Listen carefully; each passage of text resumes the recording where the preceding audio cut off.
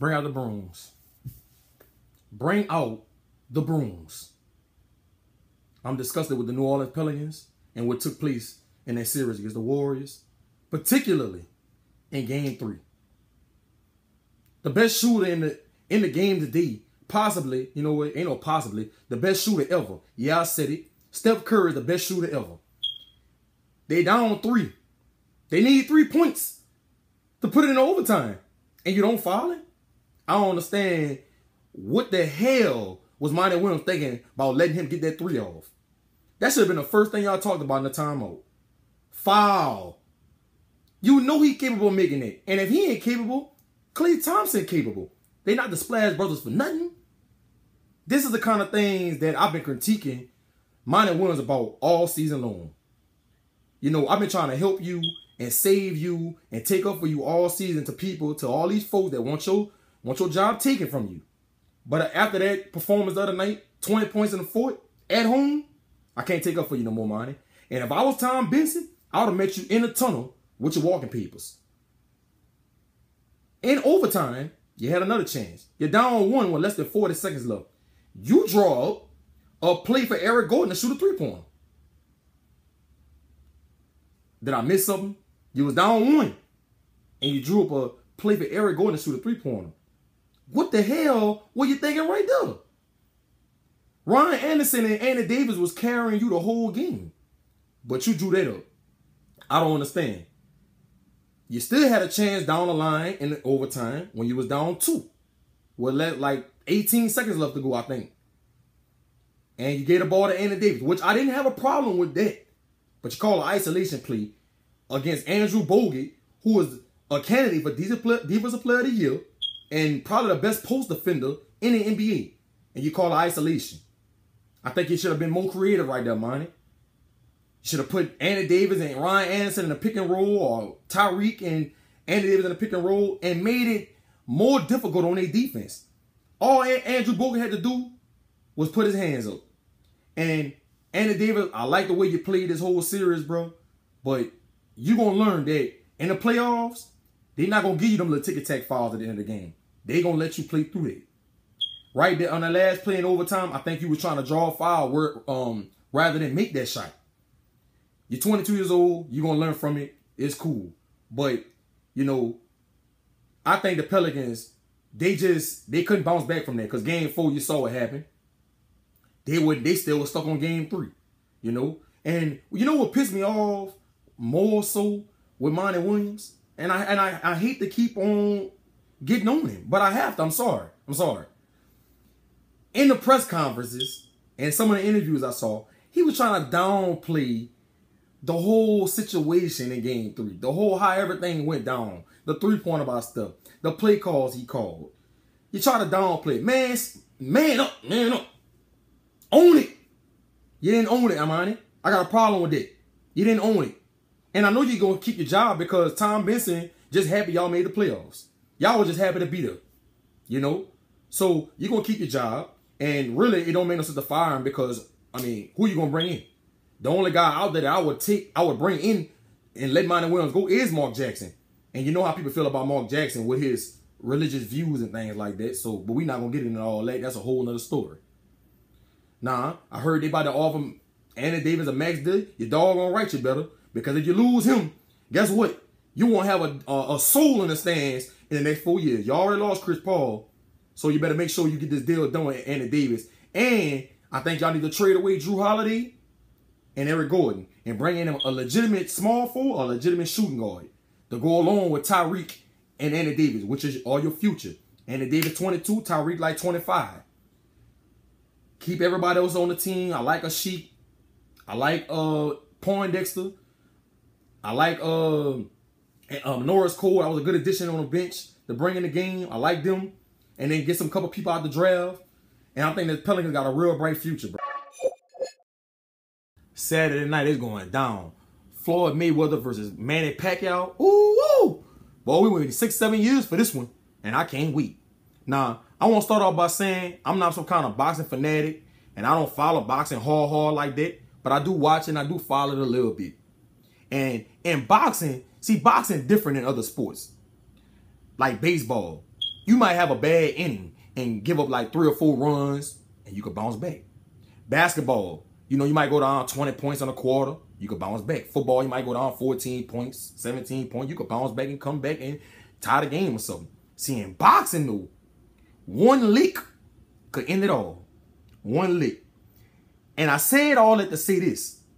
Pacquiao gonna knock Floyd out Saturday night. I know y'all probably say I'm tripping, but that's how I feel. And I, I predict it's gonna happen in the sixth or the seventh round. Floyd ain't gonna be pretty boy no more. He gonna get knocked out. And don't act like he can't get caught. Cause he got caught. And I saw I know it I know it's real. But I didn't see him get caught twice. Maidana caught him. And Sugar Shane caught him. And when Maidana caught him, his legs was buckling. Nah, hey. So it can happen. Watch out for this. I'm telling y'all, you heard it here first. This is going to be equivalent to when Mike Tyson got knocked out by Buster Douglas. I'm predicting it right now. Now, I will say this. I know Floyd's the better fighter. I mean, that's understood. And Floyd the best defensive fighter ever. I mean, we know that. And if it get past the sixth or the seventh round, Pacquiao will lose because then that's when Florida start weighing you down. You know, he gets better as the round as the, as the fight goes on. And then, you know, he just become a magician after that. But like I say, I'm predicting he gonna knock him out. That Manny Pacquiao gonna knock this boy out. And we gonna witness history Saturday night. Give me y'all take on this, what y'all think about this. If y'all think I'm tripping, I don't care if you think I'm tripping, but that's how I feel. So we gonna see. Y'all holler at me let me know what y'all think about this. Two days away from the NFL draft. I'm real anxious and excited to see who gonna be a part of the Who Dat Nation. I'm hearing all kind of stuff, all kind of rumors, and they saying that Saints gonna trade up in the draft to get to the second, third pick to get Leonard Williams from USC, the best defensive lineman in the draft. I'm hearing they might trade both of their first round picks to get a big name player. I mean, nothing gonna surprise me with Mickey Loomis and Sean Payton. You know they about rolling the dice. You know that. And whatever they do, I'm pretty sure it's gonna be something that's gonna make our team better. So I can't wait. I'm really excited. If they do decide to pick with that 13 pick, I'm pretty sure they're gonna go after a pass rusher. Hopefully Vic Beasley falls to that 13 pick. I doubt it. Uh, Bud Dupree will be the next pass rusher. I think that the Saints should probably take a pass rusher out of Kentucky. He's real, real big on their draft board. So I think that's somebody they can end up taking at that 13 pick. That 31st pick, I think I'm hearing they're gonna pick either a receiver or offensive lineman. Uh, Trey Jackson, left tackle from Florida State, who Vic Beasley abused on national TV. But they got him going first round. The Saints big on him. And Jaelen Strong, 6'2 wide receiver from Arizona State who won the wide receiver of the year award this past year. That's some guys that I think that the Saints probably gonna end up picking if they fall to them at them slots. But we'll see. I know Shane Ray, the pass rusher from Missouri, was high on the draft board too. But as y'all know, he got stopped today and cited on a marijuana possession charge. Which that's mind-boggling to me. You get stopped on a marijuana possession charge two days before the draft, son. Really? You serious? You couldn't step away from that weed two days before the draft? I don't understand what these dudes thinking about. Bruh, it ain't that serious. I'm sorry. I, I need to talk about this for a second, bro, because it's this getting out of hand. Every year, you seeing this happen to these guys, bro. Like, what you thinking about? You know the draft two days away. You just riding around, getting loaded. I, I guess you think you're invincible. And now you didn't cost yourself millions of dollars. You was projected to go 10, top 10 in the draft. Now you lucky you get picked in the second round. Step away from that weed, man. It ain't that serious. Like Stephen A. Smith say, stay away from the weed. Randy Gregory, he gets high at his mind, but right before the combine, and fails a drug test at the combine. If that ain't stupidity, I don't know what is. Josh Gordon just got banned for a whole year without pay because he can't stay away from the weed. This should open up a lot of you young guys' eyes, bro. You big time athletes coming out of high school, even the ones in college right now, you filling all these drug tests. It's going to get back to these NFL teams that y'all filling these drug tests. Don't cost yourself millions of dollars like that. Let me tell you something. Money should always a blunt. Money should be undefeated. It's always about the money. Don't cost yourself millions of dollars like that. It, it's not that serious. You that's gonna affect not only you, but your family, if you got kids. Man, y'all need to be trying to learn from these situations that these guys going through right now. Don't be a statistic. Do not be a statistic. I'm telling you. Learn from this. Next year, you're going to see it again.